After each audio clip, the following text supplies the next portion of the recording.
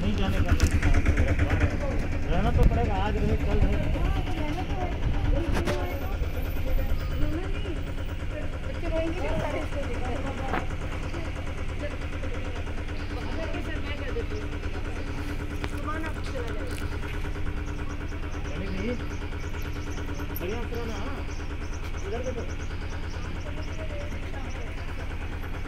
कोई घबराना